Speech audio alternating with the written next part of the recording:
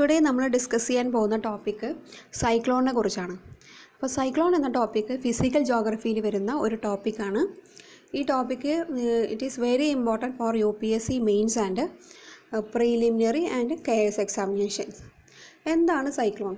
Cyclone എന്ന് പറഞ്ഞാൽ ഒരു ലോ അറ്റ്മോസ്ഫിയറിക് പ്രഷറുള്ള ഒരു ഏരിയയിൽ അതിന്റെ സ്ട്രോങ് സ്ട്രെങ്തർ ഭാഗത്ത് large scale air mass air mass ഇങ്ങനെ റൊട്ടേറ്റ് ചെയ്യുന്നതിനാണ് സൈക്ലോൺ എന്ന് പറയുന്നത്. അപ്പോൾ cyclone is a is a large scale air mass that rotate around the around a strong centre of the low atmospheric pressure അതാണ് cyclone എന്ന് പറയുന്നത്. ഇതിന്റെ ഫലമായിട്ട് എന്തൊക്കെ എന്താണ് ഉണ്ടാവാൻ പോകുന്നത്? ഒരു ഇതിന്റെ ഫലമായിട്ട് ഒരു സ്ട്രോങ് വിൻഡ് ഉണ്ടാവും.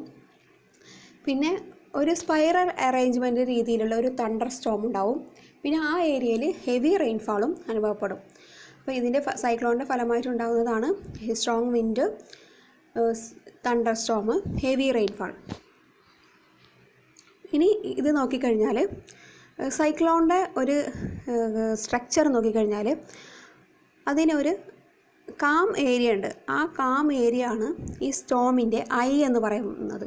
അപ്പോൾ കാം ഏരിയ എന്ന് പറയുമ്പോൾ ഇതാണ് ഐ. ഈ പിക്ചറിലുള്ള ഈ ഒരു പ്ലേസ് ആണ് ഇതിന്റെ ഐ എന്ന് പറയുന്നത്. ഇതാണ് സൈക്ലോണിന്റെ ഒരു സ്ട്രക്ചർ എന്ന് എന്ന് പറയുന്നത്. പിന്നെ സൈക്ലോണിന് ഓരോ സ്ഥലങ്ങളിലും ഓരോ ഓഷ്യൻസിലും ഡിഫറെന്റ് നെയിമാണുള്ളത് അപ്പോൾ ഇന്ത്യൻ ഓഷ്യനിൽ നോക്കിയാലാണ് നമ്മൾ സൈക്ലോൺ എന്ന് പറയുന്നത്. അറ്റ്ലാന്റിക് ഓഷ്യനിൽ നോക്കിക്കഴിഞ്ഞാൽ അതിനെ ഹുരിക്കെയിൻ എന്ന് പറയും. Western Pacific and south China സീയിൽ അതിന് തൈഫോൺ എന്നാണ് പറയുന്നത്. വെസ്റ്റേൺ ഓസ്ട്രേലിയയിൽ വില്ലി വില്ലി എന്നാണ് പറയുന്നത്. ഒരു അറ്റ്ലാന്റിക് ഓഷ്യനിലും നോർത്ത് ഈസ്റ്റേൺ പസഫിക് ഓഷ്യനിലും അതിനെ ഒരുക്കേൻ എന്നും പിന്നെ നോർത്ത് വെസ്റ്റേൺ പസഫിക് ഓഷ്യനിലെ തൈഫോൺ എന്നും സൗത്ത് പസഫിക് ആൻഡ് ഇന്ത്യൻ ഓഷ്യനിലെ ട്രോപ്പിക്കൽ സൈക്ലോൺ എന്നും അല്ലെങ്കിൽ സിവിയർ സൈക്ലോൺ എന്നാണ് പറയുന്നത്. അപ്പോൾ ഡിഫറെ എല്ലാ സൈക്ലോൺ തന്നെയാണ് പക്ഷേ ഡിഫറെന്റ് നെയിമിൻ ഡിഫറെന്റ് ഓഷ്യൻസിലാണ് ഉള്ളത്.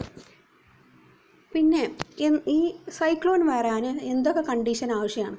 ഇപ്പോൾ ഒരു പ്ലേസിൽ എന്തൊക്കെ കണ്ടീഷൻ അതിന് ഫേവറായി സൈക്ലോണിന് ഫേവറായിട്ട് ആവശ്യമുണ്ടോ അത് നമുക്ക് നോക്കാം. ഇപ്പോൾ സൈക്ലോൺ എടുത്ത് നോക്കിക്കഴിഞ്ഞാൽ ലാർജ് സീ സർഫസ് ഏരിയ ഉണ്ടാവണം.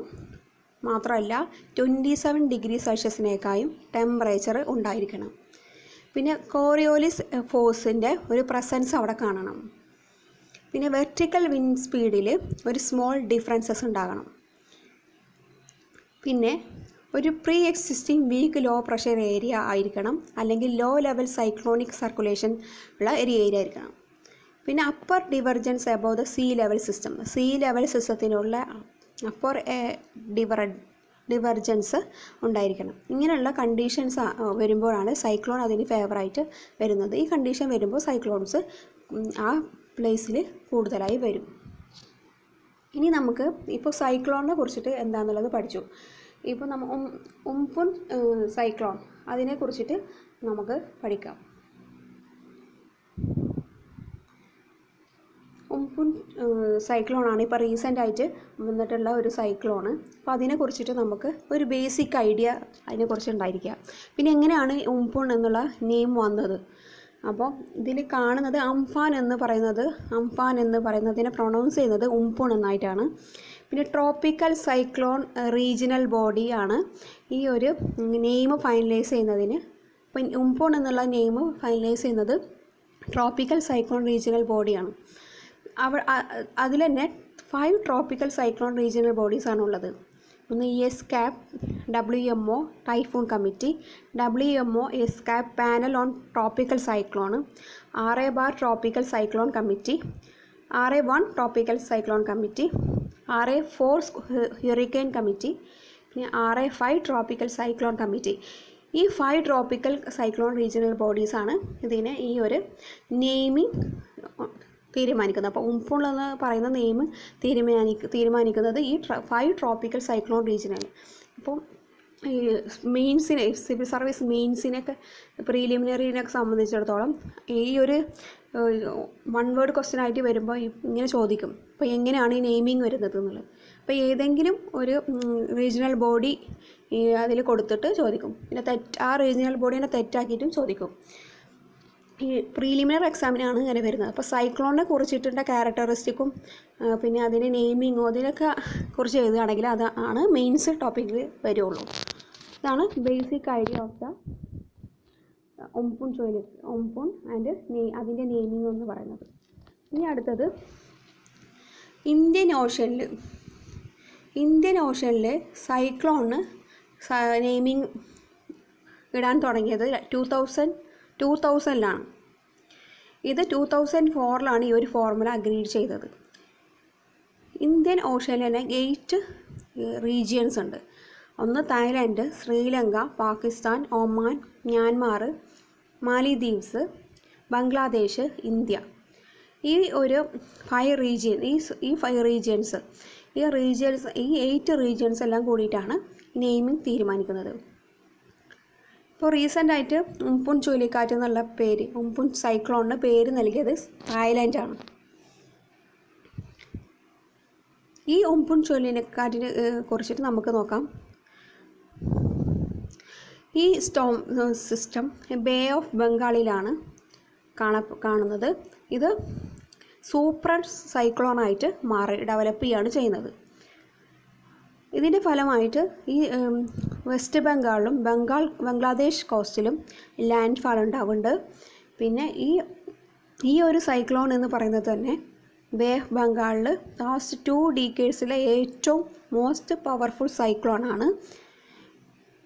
ഈ ആംഫോൺ എന്ന് പറയുന്നത് ഇതിന്റെ ക്യാരക്ടറിസ്റ്റിക്സ് അത് ഉണ്ടാക്കുന്ന ഫലങ്ങൾ എന്താണെന്ന് വെച്ചെങ്കിൽ ഹെവി എക്സ്ട്രീംലി റെയിൻഫാളും ഗാങ്നറ്റിക് റീജിയനും വെസ്റ്റ് ബംഗാൾ ഗാങ്നറ്റിക് റീജിയനായ വെസ്റ്റ് ബംഗാൾ.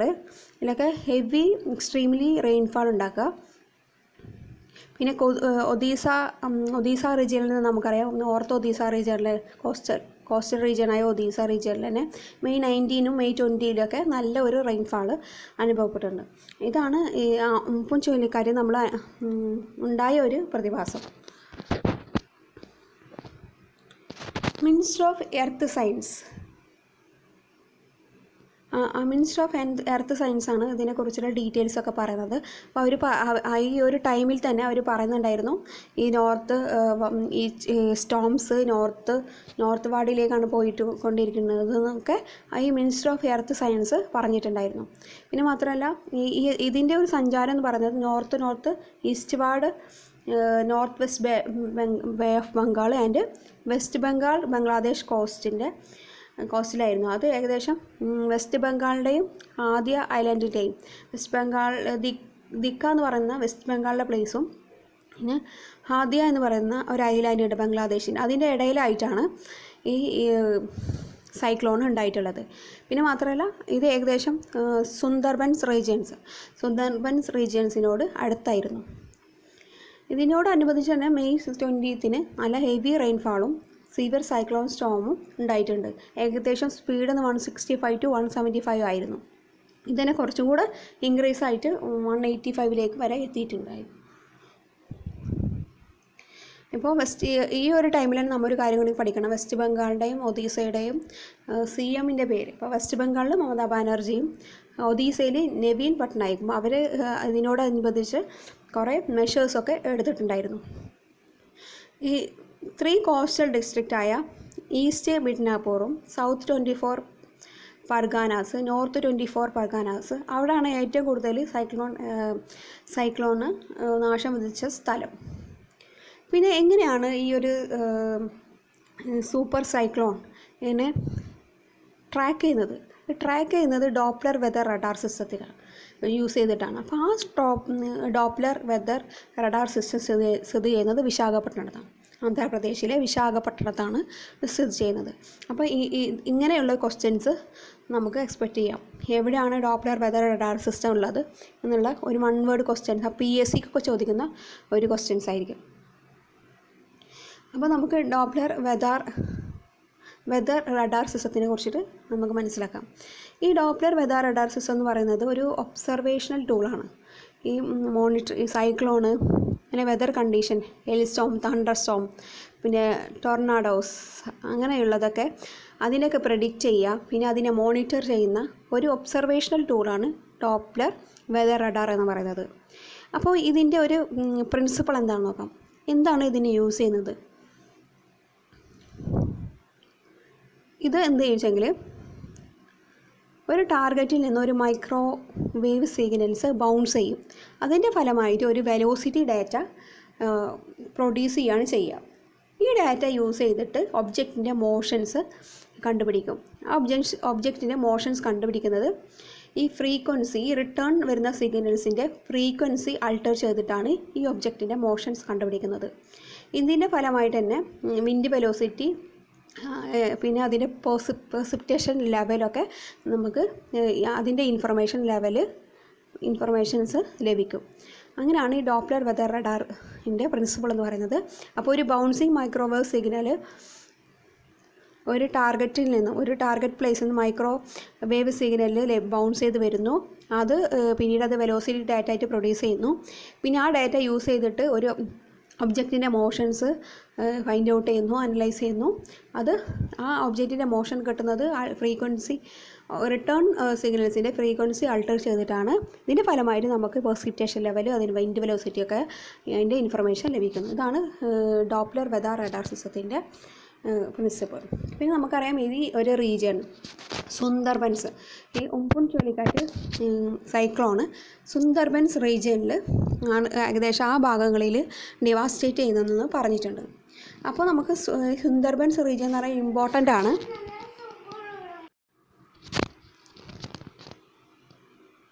അപ്പോൾ നമ്മൾ സുന്ദർബൻസ് റീജിയനെ കുറിച്ച് നമ്മൾ മനസ്സിലാക്കേണ്ടതായിട്ടുണ്ട്.